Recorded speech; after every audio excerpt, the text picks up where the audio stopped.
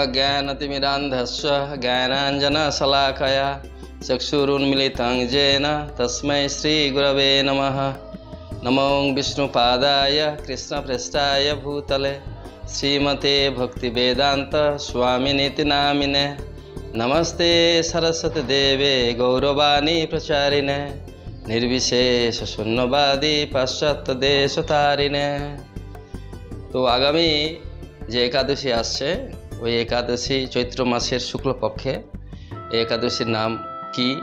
যুধিষ্ঠির মহারাজ ভগবান কৃষ্ণকে জিজ্ঞাসা করলেন। তো তার উত্তরে ভগবান কৃষ্ণ জনার্দন, তিনি যুধিষ্ঠির মহারাজকে বললেন যে, এই চৈত্র মাসের শুক্লপক্ষের যে একাদশী, সেই একাদশী হচ্ছে সমস্ত পাপ ক্ষয়কারী এবং যত সমস্ত পিসাস থেকে যদি কেউ গ্রস্ত হয়ে যায়, সেই পিসাস নিবারণকারী এই একাদশী কামদা নামে আমাদের যে সমস্ত কামনা রয়েছে, কোনো কিছু, সেই কাম, কামনাটাকে পূরণ করে থাকে। এই জন্য এই একাদশীর নাম হচ্ছে কামদা একাদশী। এবং ভগবান কৃষ্ণ যুধিষ্ঠির মহারাজকে বললেন যে, এই এক সময়ে দিলীপ, রাজা দিলীপ বশিষ্ঠ ঋষিকে যে প্রশ্ন, এই একই প্রশ্ন করেছিলেন। এবং তিনি এই একাদশ সম্বন্ধে যেভাবে বর্ণনা করেছেন, সেরকম বর্ণনা আমি তোমার কাছে সেই করব ভগবান কৃষ্ণ বললেন যুধিষ্ঠির মহারাজকে। তো অতি প্রাচীনকালে এই নাগলোকে পুণ্ডরিক নামে এক রাজা ছিলেন এবং সেই নাগেদের যে রাজা এত মানে বিখ্যাত ছিলেন, তাকে গন্ধর্ব, কিন্নর এবং অন্যান্য অপ্সরারা তাকে সেবা করতেন। এবং সেই নাগলোকে পুণ্ডরিক রাজার অধীনে যে সমস্ত প্রজারা ছিলেন, তারা খুবই ঐশ্বর্যপূর্ণ নগরীতে বাস করতেন। এবং তাদের মধ্যে যে দুজন বিশিষ্ট গন্ধর্ব যে ছিলেন, তারা হচ্ছে একজন ললিতা ললিতা আর একজন হচ্ছে ললিত, গন্ধর্ব গন্ধর্বিকা দুজনে ছিলেন। এবং তারা বিশিষ্ট সেখানকার গন্ধর্ব ছিলেন এবং তারা খুব গানে, গন্ধর্বরা সাধারণত গানে খুব পটু হয়ে থাকেন। তো একবার কি হয়েছে যে নাগরাজ পুণ্ডরিককে খুশি করার জন্য সেই ললিত যখন সংগীত পরিবেশন করছিলেন, তো সেখানে ললিতা ছিলেন না। তো তখন অন্যান্য অপ্সরারা নৃত্য করছিলেন রাজাকে খুশি করার জন্য। তো ললিত যখন রাজাকে প্রসন্ন করার জন্য গান করছিলেন, তখন তার ললিতার কথা, তার যে প্রেয়সী বা প্রেমিকা, ললিতার কথা তার স্মরণে আসে, যার ফলে তার কি হচ্ছে, গানের তাল লয় ভঙ্গ হয়ে যায়। ভঙ্গ হয়ে যাওয়ার যার কারণে রাজা খুবই অসন্তুষ্ট হন এবং একজন যে নাক, তখন রাজাকে বলে থাকেন যে, ইনি জানেন কেন ওর তাল লয়ে ভঙ্গ হয়েছে? উনি ওর যে প্রেয়সী প্রেমিকা ললিতার কথা স্মরণের জন্য এখানে ওর মনোযোগ নেই, যার ফলে এর তাল লয় গানের নষ্ট হয়ে গেছে।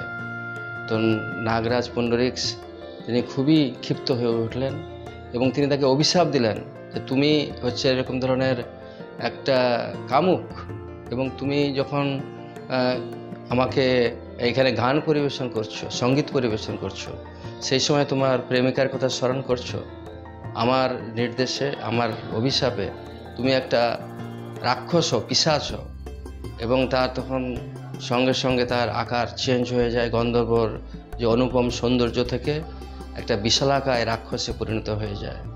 আর সেই রাক্ষসের চোখগুলো ছিল সূর্যের মতো। আট যোজন লম্বা ছিল সেই রাক্ষস। আর তার শরীর ছিল পর্বতের মতো।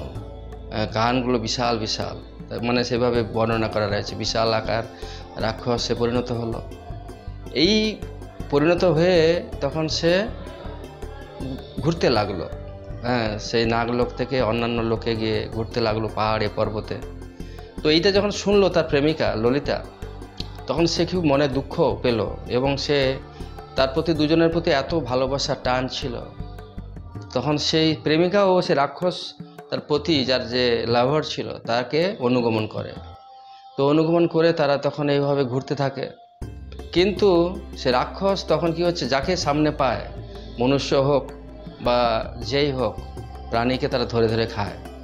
তো এই যে একটা বিভৎস জীবন, এটা ও কালাতিপাত করতে থাকে। তো সেটা যে অপ্সরা, যে সুন্দরী ললিতা তাকে খুবই দুঃখ বেদনাদায়ক তার কাছে হয়ে ওঠে। এবং তারা ঘুরতে ঘুরতে এইভাবে একদিন বিন্ধ্য পর্বতে ঋষ্যসঙ্গ মুনির আশ্রমে গিয়ে পৌঁছায়।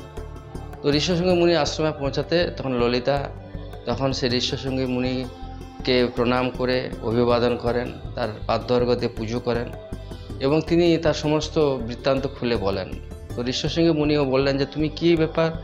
এই বিন্ধ্য পর্বতে এখানে আসার কারণ এবং তিনি তখন ললিতা তখন সব কিছু ঋষ্যসঙ্গী মুনিকে তার সবিস্তারে খুলে বলেন। তখন বলছে যে এই এখন আসছে। এই যে সময়, চৈত্র শুক্লপক্ষের যে একে একাদশী আসছে, এর নাম হচ্ছে কামদা একাদশী। তুমি এই কামদা একাদশী খুব সুন্দর করে ভগবান বিষ্ণুকে ঘটের উপরে রেখে সুন্দর করে পুজো করো, বিধিবিধান সহ পুজো করে তাকে ভোগ লাগাও। হ্যাঁ এবং ব্রাহ্মণদেরকে অন কি বলে বস্ত্র পাদুকা হ্যাঁ, এবং ভোজন করা ছত্র এই সমস্ত দাও। দিয়ে এই যে একাদশী পালন করলে তুমি সারা দিন যদি উপবাস থাকো ভালো উপবাস থেকে ভগবান বিষ্ণুর কথা শ্রবণ করো। তো শ্রবণ করলে তখন কি হবে? এবং তুমি তার পরের দিন পালন করার মাধ্যমে তুমি একাদশী ব্রত উদযাপন করো। এবং তার যে ফলটা তুমি তোমার স্বামীকে অর্পণ করো।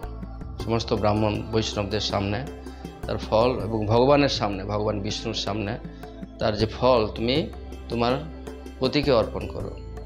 তো ললিতা তাই করলেন এবং খুব আশ্চর্যজনকভাবে মুনির কথা অনুসারে ঋষ্যসিংহ ঋষি তার কথা মতো পালন করার ফলে কামদা একাদশী, চৈত্র শুক্লপক্ষে তখন তার স্বামী সে ভয়ঙ্কর যে রাক্ষস ছিলেন, সে ভয়ঙ্কর রাক্ষস থেকে পরিবর্তিত হয়ে সুন্দর অনুপম সৌন্দর্য সেই যে গন্ধর্ব ললিত রূপে পরিণত হলেন এবং তারা তখন খুব খুশি হলেন এবং তখন মুনিবরকে প্রণাম প্রণাম করে বিন্ধ্য পর্বত থেকে তারা গন্ধর্বলোকের উদ্দেশ্যে যাত্রা করলেন এবং তারা পরম সুখে সেখানে গন্ধর্বলোকে বাস করতে লাগলেন এবং এই যে একাদশী যারা করবেন, তারা সমস্ত রকমের পাপ থেকে মুক্ত হতে পারবেন। আমাদের এই জীবনে, আগের জীবনে বা বিভিন্ন কারণে মানে জ্ঞানে, অজ্ঞানে যে সমস্ত পাপ থাকে এবং যে সমস্ত কিছু থাকে সে সমস্ত থেকে মুক্ত হয়ে তারা তাদের স্বরূপে অধিষ্ঠিত হতে পারবে এবং অন্তিমে